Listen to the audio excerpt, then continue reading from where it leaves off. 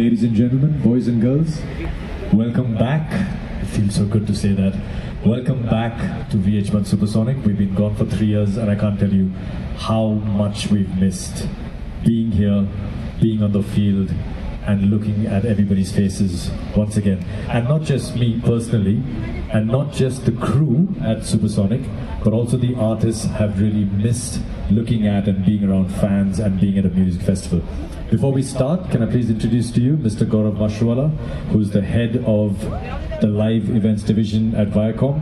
The only problem is the people at Viacom have such long designations that I never know what to call them. But he's my dear friend and partner in crime at VH1 Supersonic, but he handles a lot more than Supersonic. I'll let him give you his official designation. Gaurav. Hello everyone and thank you for making it over here. Uh, so I'll keep my designation short. I'm just business head of the live uh, business for Viacom 18. Uh, we're really happy to uh, have Supersonic back after three years. Uh, Nikhil clearly has uh, been the face of this festival, so I'm going to let him do all the talking because he does it way better than I do.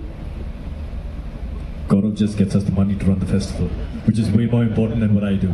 But um, once again, welcome. Um, this year at Supersonic, as you know, the festival is spread over an immense area. We've been here for the past five or six years here in Pune. And we love coming back to the city. We love the energy, especially of the younger generation that lives here in Pune. People come down from Mumbai, people come down from all across India. And this year we've got quite a few people coming down from the Middle East and Dubai as well. Um, we're starting here on what is our underground music stage, and Supersonic was actually the first festival to pioneer what what is called techno now all across India. At our first festival, actually our third festival in Goa back in 2015, when we invited Awakenings, the biggest techno brand from Amsterdam, actually the biggest global brand, to host the stage here at Supersonic, and we partnered with them for five years. And this year we're doing techno on our own. Awakenings is doing their own festivals in Europe. And back then, I believe that as a team, we had the vision to see where the festival was moving to and where music in India was moving to. And we brought in artists that nobody else had thought of bringing in back then.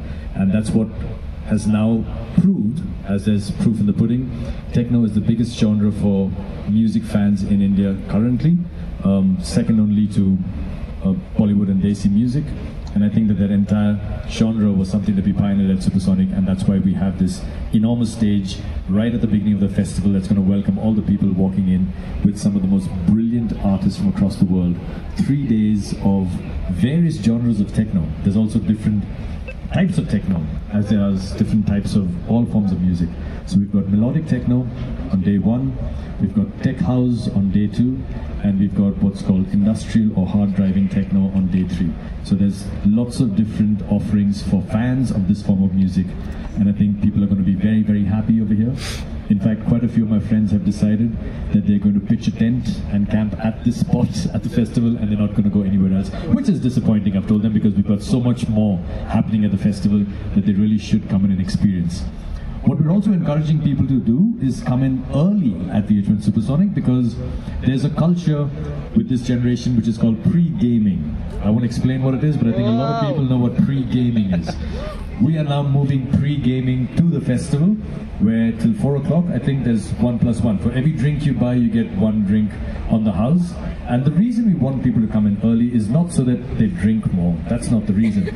We want them to come in early because we want them to come and eat here at the festival Our food selection at Supersonic this year is, I think, the best we've ever done of all the editions we've done. So we want people to come in early, and I know the concern is दोपहर को बहुत धूप होता है गर्मी होती है which is why we have tripled the amount of shade at the festival this year compared to what we've had in the past few years.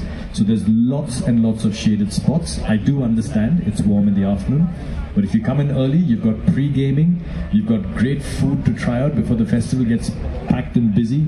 You can sit down, you can even take a nap on the grass if you want to, and festival gets fully crowded, you can engage with it and be full on. So honestly, if you're going to come to Supersonic this weekend, come in by 2.30, 3 o'clock in the afternoon and really get full pesa vasool for the ticket that you've bought to enjoy every aspect of the festival. So, should we move on to the next stage?